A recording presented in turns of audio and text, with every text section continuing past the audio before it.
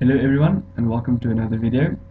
I am going to show you how to solve a pipe network system using the Hardy-Cross loop method. This first image shows you the system that I'm going to solve with the initial discharges already in it and also the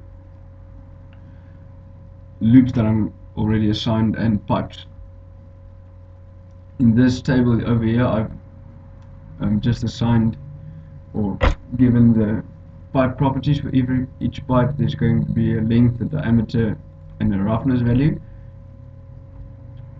And yeah you can see the pipes are numbered from 1 to 10 and the loops are used clockwise as positive.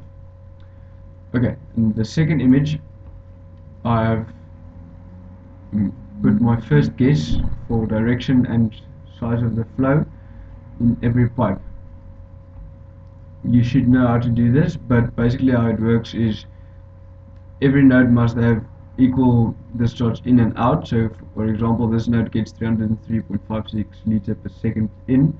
So out of the node they must go 200 plus 103 equals the 303 and so forth for every node. Okay so I've already assembled my let's call it template to make things a bit easier. Um, the Hardy-Cross loop method is solved with a few iterations. For my first iteration I'm going to show you how everything is done.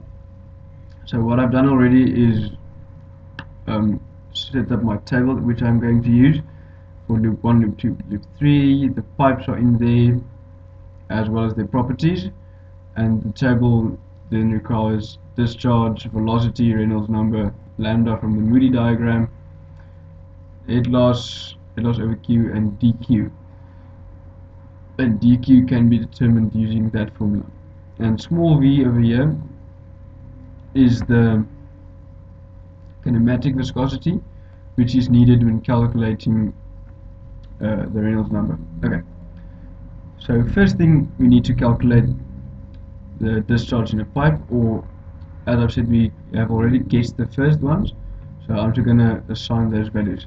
So for pipe 1 you can see it's going to be negative because it's going downwards and the loop positive convention is upwards for that pipe.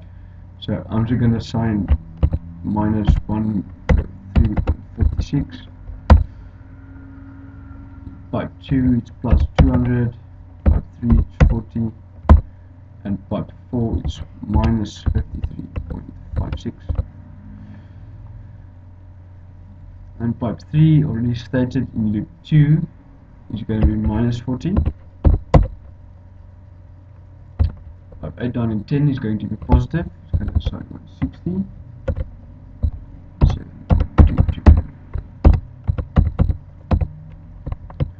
then pipe 4 in loop 3 is going to be plus 53.56 5 is going to be minus 15 pipe 6 is going to be 100 7 8 and pipe 7 is going to be minus 30.8 sorry. Okay. Okay there we go Next we need to calculate the velocity. That's quite easy. We use the equation Q equals V over A. So V is going to equal Q over A, but remember our Q is in meters per second. So we need to divide it by 1000 to get cubic meters per second. And then divide by the area, which is 0.25 times pi times d squared. That should give us the velocity. I hope that is correct.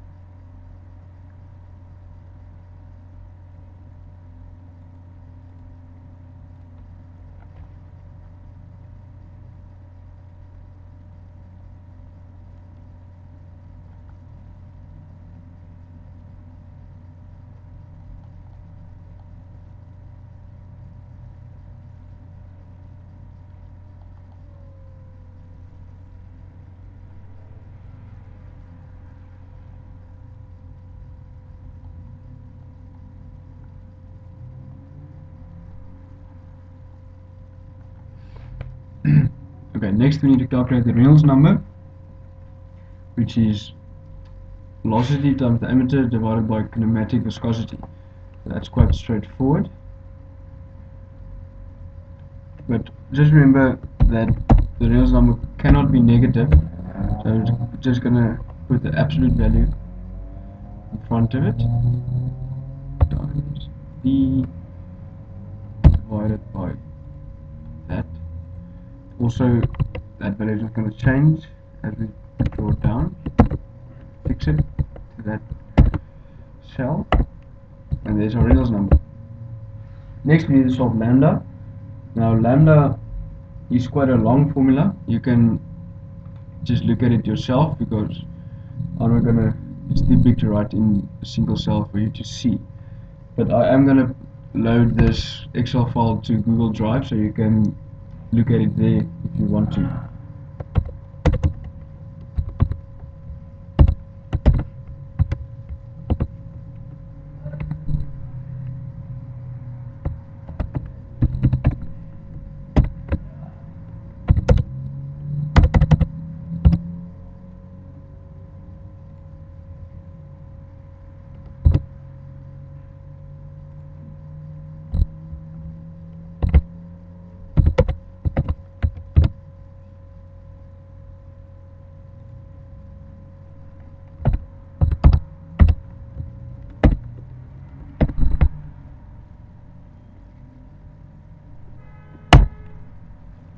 So lambda. Next we need to calculate the HF which is also another formula I'm not gonna show you. But yeah you can see it in the file once you've downloaded it. 8 times lambda times L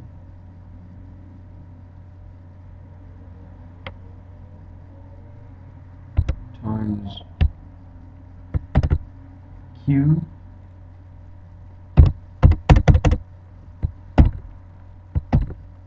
Squared divided by pi times pi 9.81 times d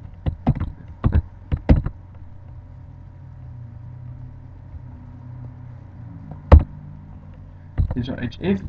HF over Q is straightforward, is what it says. That can't be right, HF is way too big.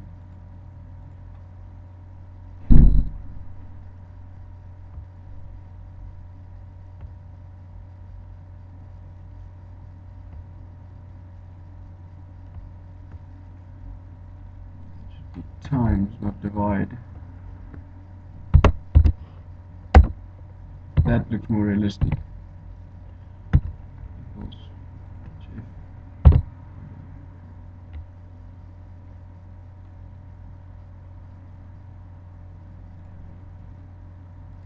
Thousand.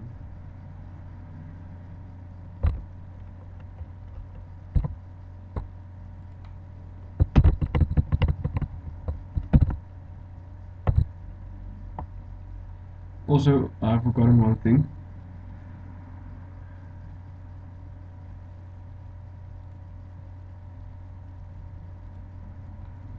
HF must get the same sign excuse me as Q. Just to make sure that HF has the correct sign.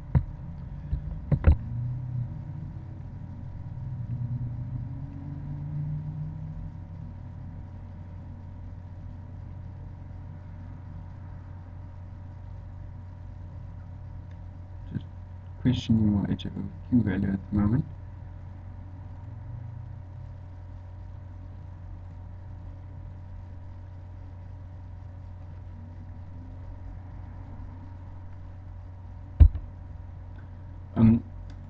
going to keep my queuing liters per second. Sorry. To ensure that when I get my DQ it's also in liters per second so I can just add and subtract it. Now, DQ is my correction factor as you can see there.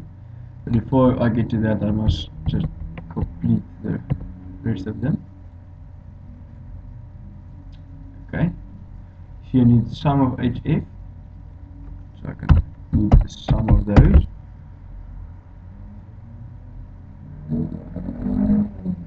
As well as the sum of HF over Q.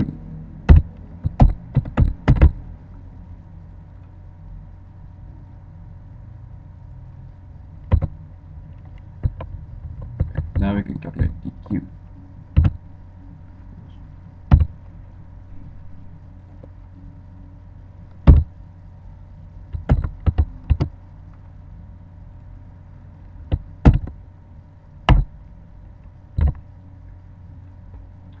now dq has been determined.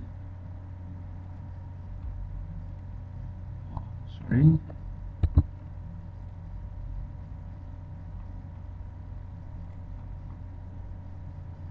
Put dollar signs over there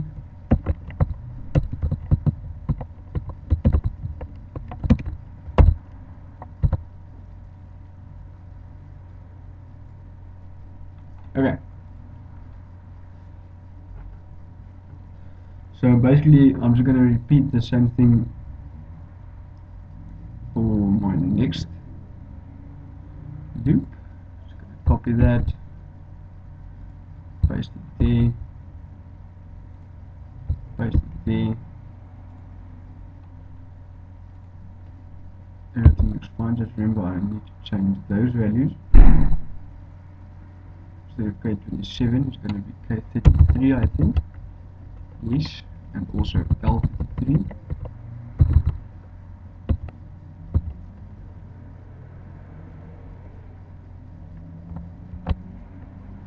but I think in order to make it easier for to copy and paste for the next and for the next iteration and the one thereafter it's going to be easier just to remove those dollar signs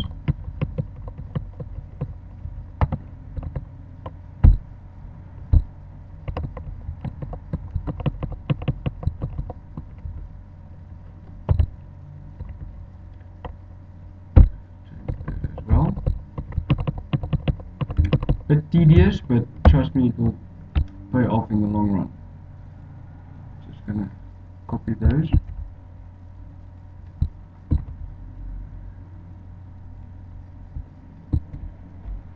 Okay, now that's done.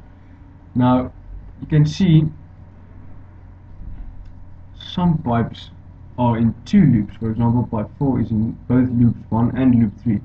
Now, as you can see, pipe 4 has therefore two DQs. So the way you treat that is basically you go, I'm going to do DQ other, and on pipe 1 is not a problem, pipe 3 and pipe 4. Pipe 3 is in loop 2, so that is going to be equal loop 2 pipe 3 and pipe 4's sorry that one. To be DQ and pipe 4 is going to be that one. And exactly the same pipe 3 is going to be that one. And part 4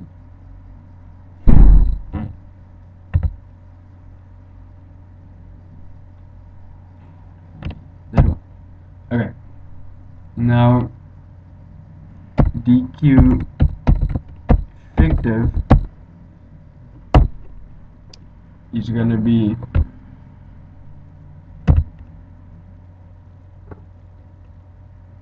that DQ minus that one so I'm just gonna select all of them. Those were zeros, I'm just gonna delete because I'm not interested in those. As you can see, if you look at pipe 4, it's minus 19, and the other one is plus 19. And that is correct because pipe 4, for example, goes positive in the one direction and negative in the other loop. Okay, so that is our the effective so now I'm just going to assign a new Q value which is going to be equal to the first guessed Q plus the effective Q. I'm just going to take that down as well. Erase the zeros.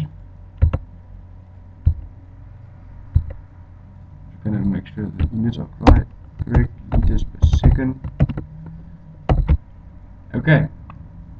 So basically that is our first trial. Now this needs to be repeated for a second time and that is really quite easy. So I'm just going to copy it. Firstly I'm just going to make it look a bit better. So I'm going to put a thick border around it so you can see what's going on. Then I'm going to say copy, paste,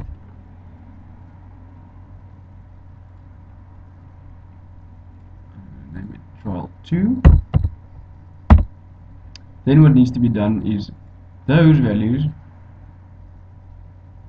need going to be equal to those values. I'm going to say that equal to that.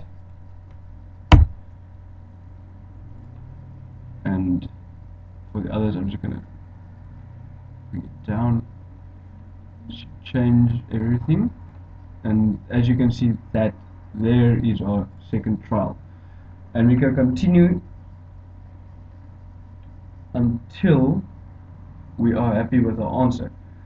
So you know you are happy with your answer when DQ is relatively small. So I'm not gonna loop 100 times now but I'm just gonna repeat like maybe not 2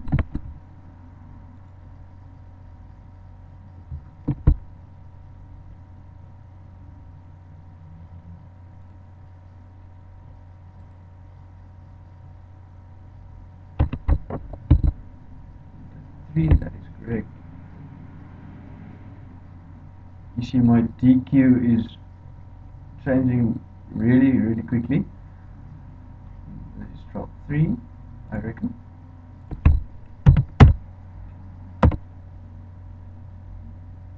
Just gonna do this one more time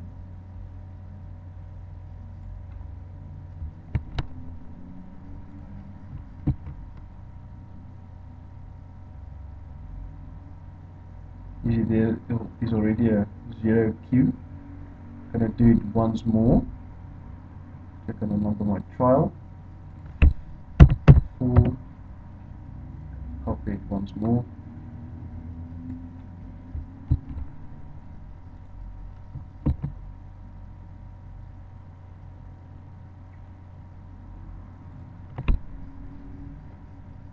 And so forth. As you can see my Q's are not changing that much anymore but for accuracy sake you can do this at least 9 or 10 trials until you're happy with the answer.